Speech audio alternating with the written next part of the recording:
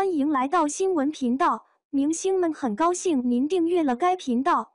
谭健次新剧《四方馆》来袭，古装探案清洗风格引期待，看点十足。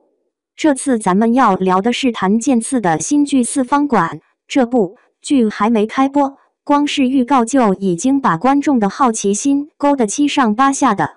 谭健次，这位从《长相思》里的香流走出来的帅小伙。不仅颜值爆表，演技也是稳稳的在线。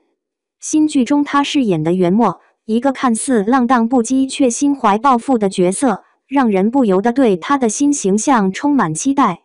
说到四方馆，这剧情设定可不简单。整个故事发生在一个接待和管理周边臣民的机构——四方馆。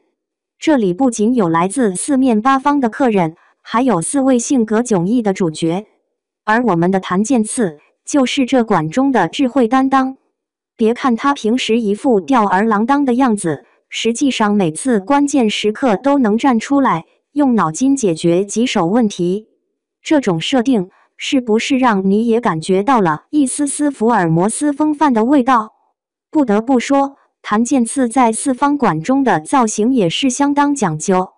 古装戏对于服装配饰的要求极高。从曝光的剧照来看，他的装扮既符合角色身份，又不失时尚感。长衫马褂配上那俊朗的面庞，简直是古风男神的典范。而且这一次他的角色有着更多层次的情感，看他如何在古装探案中展现轻松喜剧的魅力，绝对是一大看点。除了谭健次，这部剧中的其他三位主演也都是实力派集结。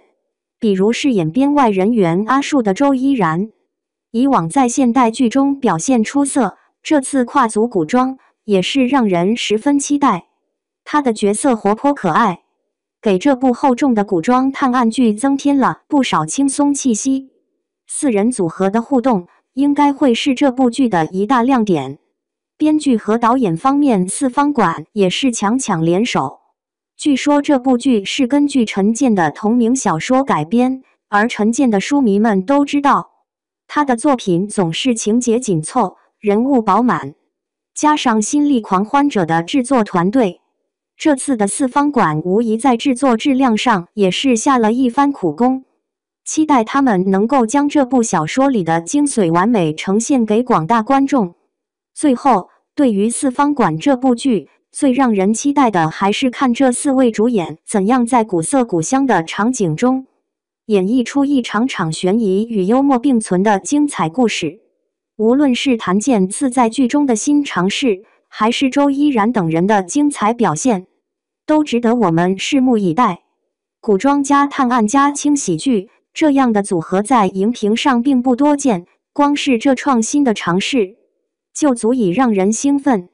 所以。准备好你的小板凳，追剧的日子即将开启。